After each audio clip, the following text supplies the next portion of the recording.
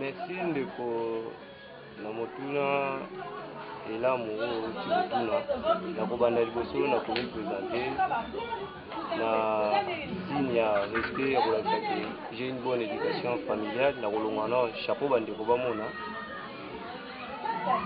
nazali mwana ya mboka kongo nkombo na ngai ezulwa monzemba richard président sectionnaire ya fpn cac 2 cité des anciens combattants nazali na biro na ngai mobimba na loboko na ngai ya mobali ozomona tozali na ndeko vice president ya section cac de ye moko akopesa bino nkombo merci merci mingi mwana mboka na motuna na yo otunaka ngai souvent papa nkombo na ye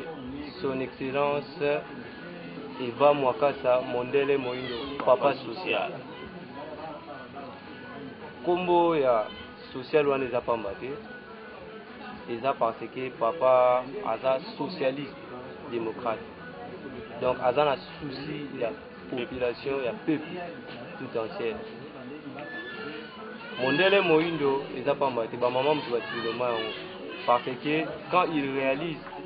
ses promesses, quand il, il promet, il réalise, il réalise ses promesses. yango kombo na ye babengaka ye eva mwakasa mondele moindo papa social merci mingi mwana mboka na motuna na yo papa eva mwakasa mondele moindo papa social président national ya force politique nouvelle fpn en sigle vision, na, vision ya papa social ezali ya ko moderniser gestion tolonga na gestion archaïque quand tozomona fpl force politique nouvelle force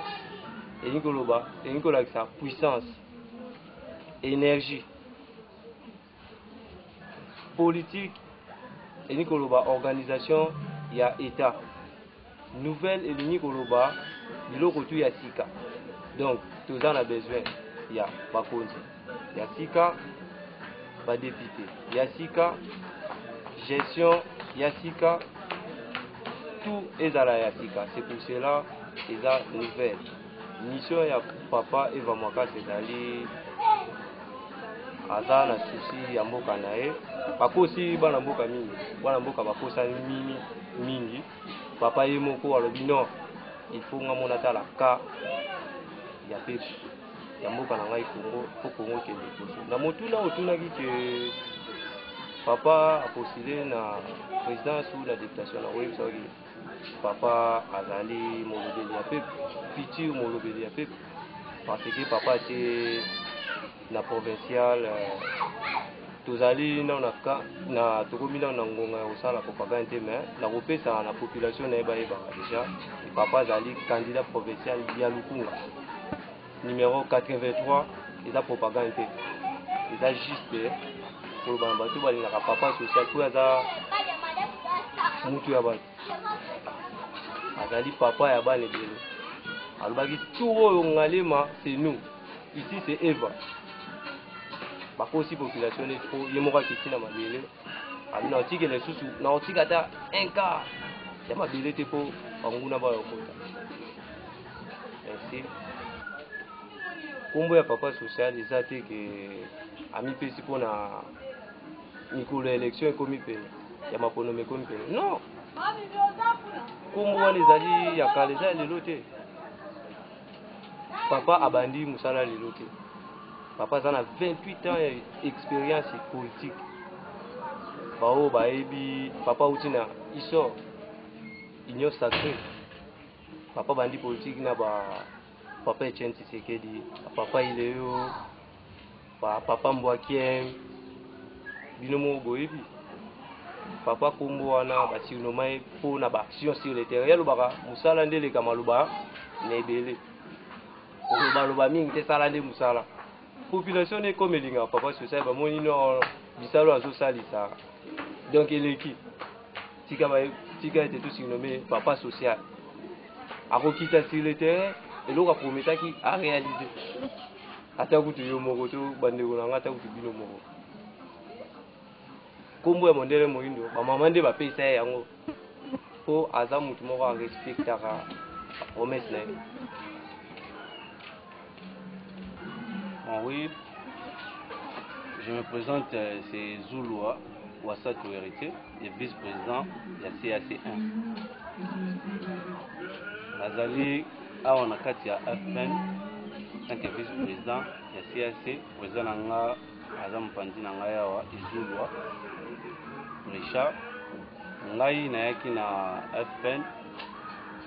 na ba ideologie na ba idee oyo papa social aza na yango envers population Donc, beaucoup plus nazomona na baactivité na biloko oyo azosala devant population c'est par rapport à ça oyo nde eatire nga nazala beaucoup nasadere na kati ya parti nakota na kati ya parti na ye yango wana nde eloko epuse ngai naza na artel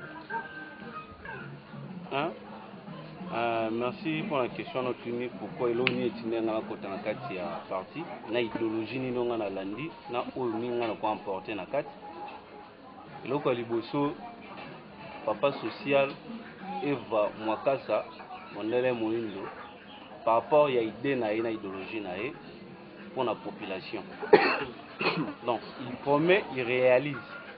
donc oye oleli liboso na ye akokisi eloko oyo oza nango mposa de un nalandeli na profite nalandeli na idéologie ndenge azoconduire donc socialiste celui azosangisaka biso nyonso tu bagene bamikolo banani ye azosangisa biso tu ensemble donc azolakisa biso eloko moko oyo atalisi biso na l'amour beaucoup plus bolingo entre biso na biso donc eloko oyo epuse nga vraiment na kati yango wana koyede population koyede bajeune eloko mpenza epuse nga nalanda ye na idéologie na ye yango wana kombo na nga papa mabiala césar navandi na manenga soki omoni ngai naye na parti politique nakota ya parti politique oyo nazali mpe membre parce que papa eva mwakasa social nayebi ye ke akosala makambo moko malamu yokoke asalaka makambo malamu mpe akosala makambo moko malamu mingi mpona biso bapopulation tala biso toza na makambo minene minene kuna baprobleme ezali baterase baprobleme ya electricité toza sur ke ye akorepondre biso na ba réponse na biso baparti mosusu wana ezalaka baparti moko boye baza lokuta bakoloba lelo apesaka bango baréponse te si tomona badepute ebele baya epai na biso kuna baninga kuna basala na bango eloko moko te soki bakoti bakomi na makambo na bango moko boye baza na balingaka bango moko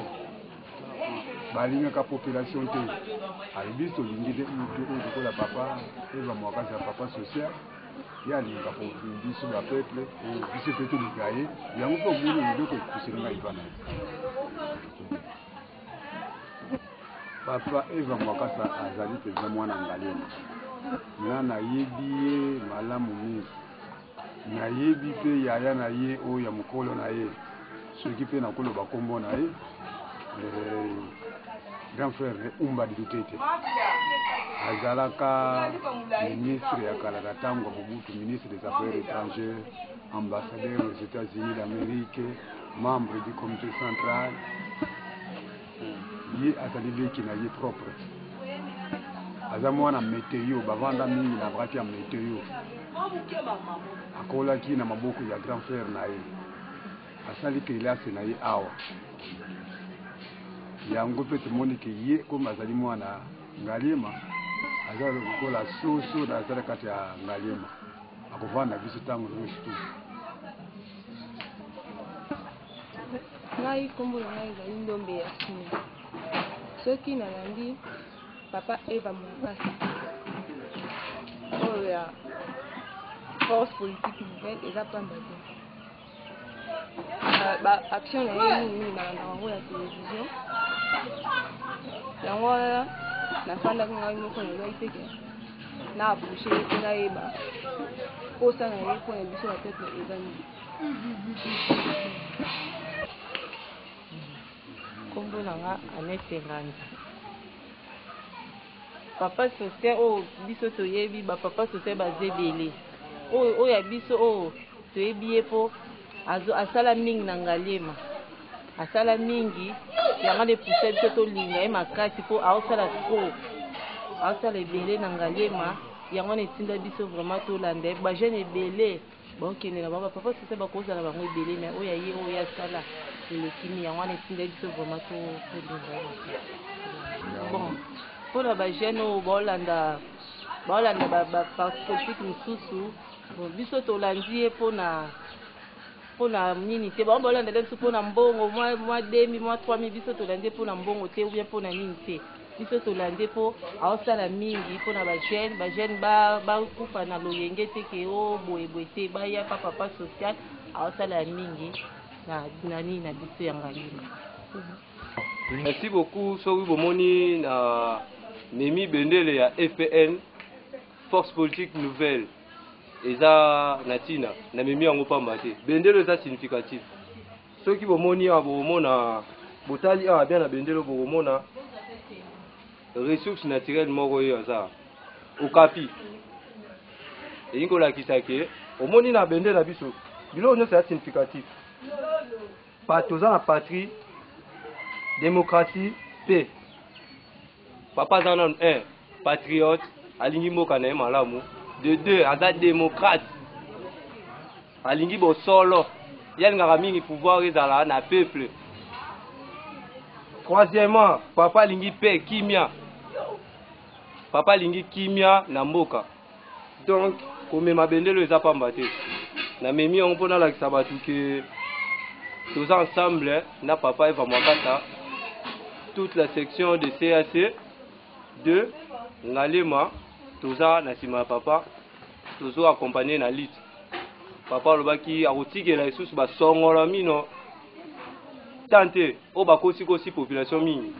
alobi akotikela bango tan te Yalobaki tour oyo toza na besoin bakonzi ya sika, depute ya sika, gouverneur ya sika, nyonso tu ya sika, politique ya sika. Yango bomoni force politique nouvelle. Nalobaka à tout moment mission na biso eza ya ko moderniser gestion. Toza nyonso ezala moderne, banzela ezala moderne, nyonso ezala moderniser, tout ezala moderniser. En tout cas, na koyebisa ba ndeko na ngai oyo bazo reve batika ko reve. Papa social aza wana mpona motu nyonso, alingi motu nyonso.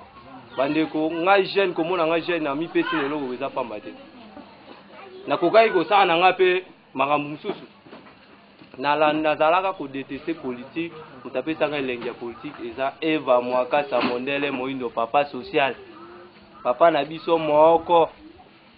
ye nde apesanga elengi ya kosala politike naloba non baide ya papa il faut ngai nakota nazala na papa tosala lite ensemble papa aza vraiment patriote alingi biso bana ya ngalema mingi kaka ngalema te kongo mobimba po evandi papa azosala baaction na boma ainsi parci par là tozomona papa aza vraiment actionnaire aza vraiment actionnaire acteur ngai nabengaka ye arme nucléaire de la politique congolaise